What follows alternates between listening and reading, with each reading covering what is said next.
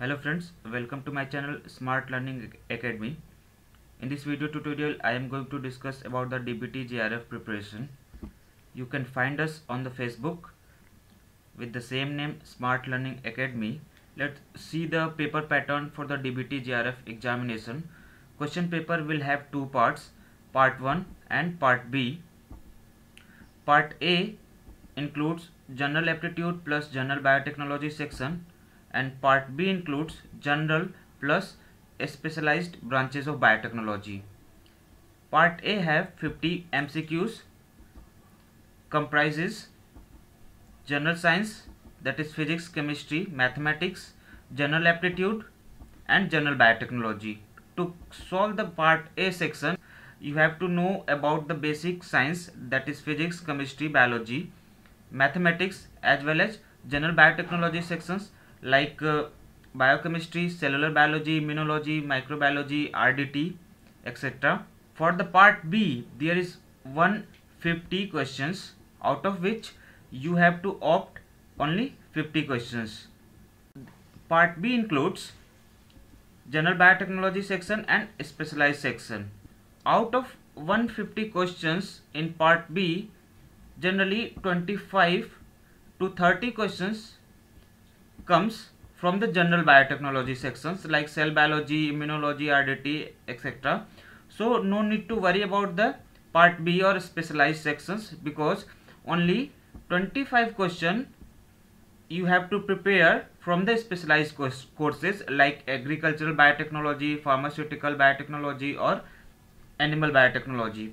The total number of questions in this paper is 200 and you have to opt 100 questions from 200 question and marks allotted per question is 3 that is total marks is 300 there is negative marking in this paper 1 by 3 negative marking that means 1 marks for each wrong answer. This is three very important chapters for the aptitude english comprehension based english uh, verbal reasoning non verbal uh, non verbal reasoning capacity and quantitative aptitude type like simple calculation work and time and etc these are the topics or chapters included in general biotechnology section. First is biomolecular structure and function. Second is methods in biotechnology organization of structure cellular processes recombinant dna technology genetics, phylogeny and evolution, genomics and proteomics, IPR, biosafety and bioethics. In biomolecular structure and function, there are many important topics like structure of protein, lipid, carbohydrate and DNA uh, or nucleic acid, chemical kinetics, thermodynamics and enzymology are included in the biomolecular structure and function.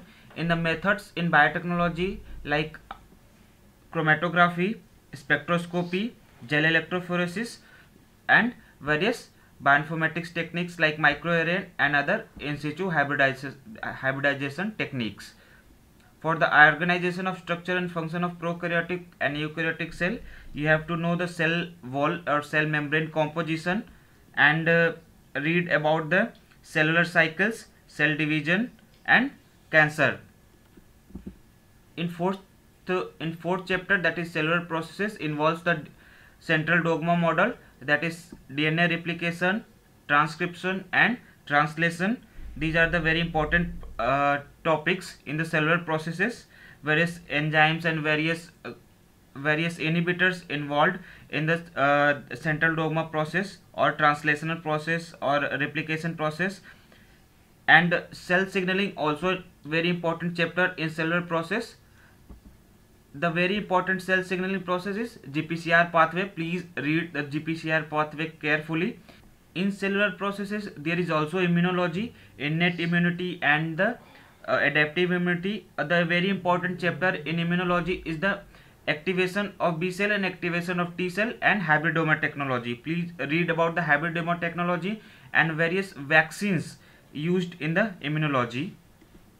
For the recombinant DNA technology, please read about the various enzymes involved in the recombinant DNA technology, various vectors used for the recombinant DNA technology, various type of PCR and what is the application of that PCR and DNA sequencing methods, gene expression libraries and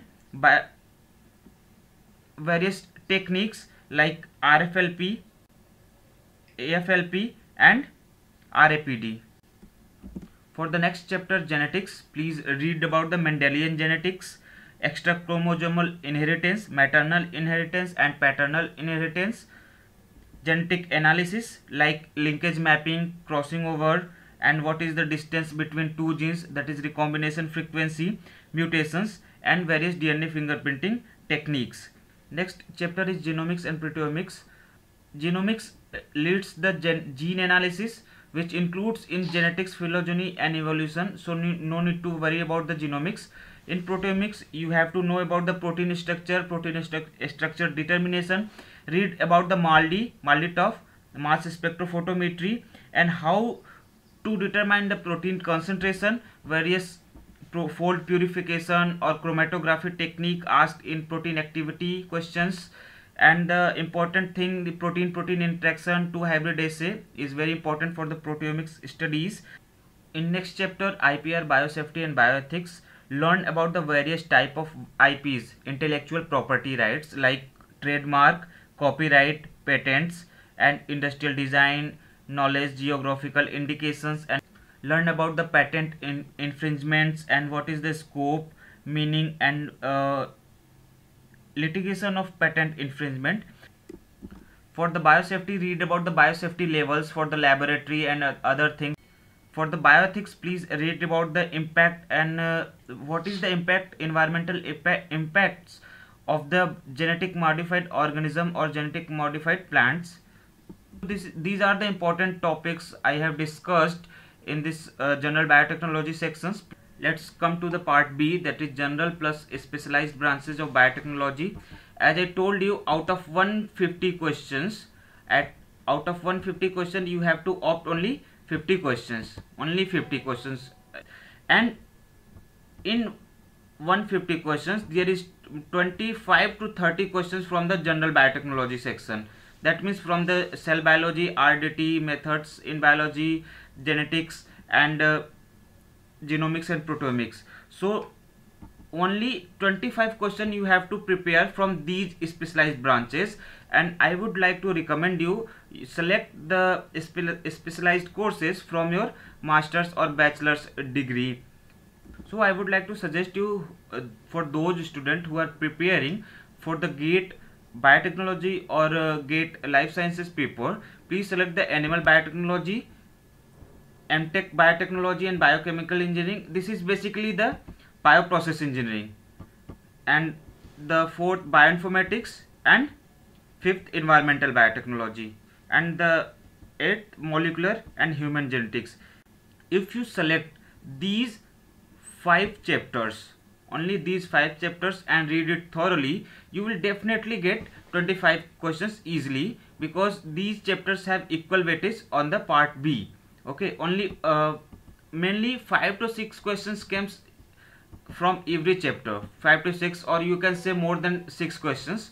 So and from this uh, third MTech in biotechnology biochemical engineering and industrial biotechnology. From this chapter 10 to 15 questions came in the DBT JRF question came in the DBT JRF paper.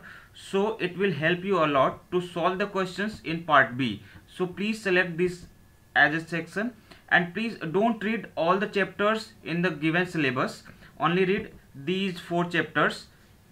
Because it, for the molecular and human genetics it includes it is included in the genetics in the general biotechnology section.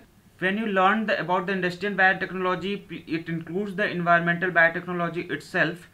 This is the overall preparation of the DBT JRF please read it thoroughly and please refer the standard books because in the DBT JRF examination the questions are very clear concept questions. So you have to know about the concept behind every topic. So please read it from the reference book not from the short notes or anywhere. Thank you for watching this video. If you find any difficulty if you have any query please do comment in the comment box or you can post on our group on the Facebook that is Smart Learning Academy